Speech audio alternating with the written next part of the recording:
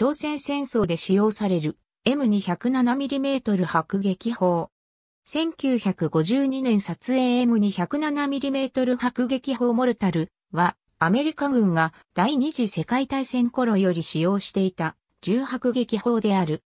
陸上自衛隊でも 107mm 迫撃砲として採用しており、普通可連隊の重迫撃砲中隊が運用していた。アメリカ軍が1928年に採用した M107mm 迫撃砲に射程を大幅に延伸する改良を行ったものである。砲身内部には迫撃砲としては珍しく、ライフリングがあるため、砲弾も後部に安定翼がなく榴弾砲用の砲弾と変わらない形状をしている。移動には M1A1 という専用の荷車が用意されており、人力で運搬することができた。アメリカ軍では陸軍の核師団の霊下にある化学迫撃砲大隊に配備された。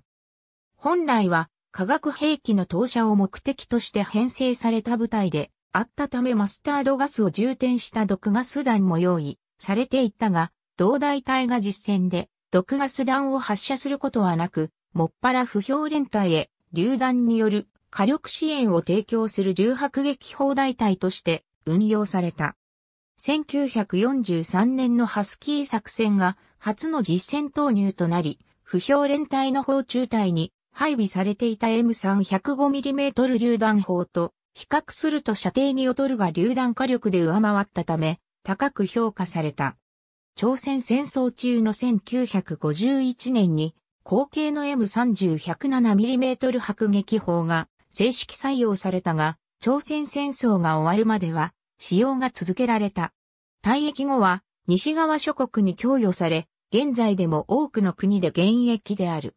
陸上自衛隊において、本砲は普通科連隊の重迫撃砲中隊に配備されて、連隊における主たる直縁火力として運用された。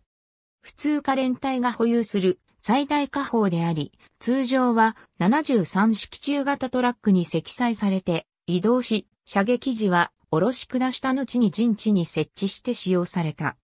また、陸自でも専用カードを M1A1 運搬車として装備しており、迫撃砲本体155キロと砲弾や装備などを積載して300キログラムにもなる荷物を人力で運搬した。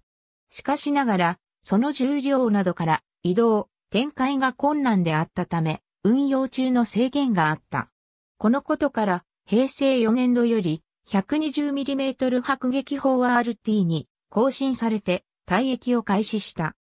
120mm 迫撃砲 RT は、砲画に車輪が装着されていることから牽引が可能となり、機動性が向上したほか、射程や榴弾威力などの性能も全般に向上している。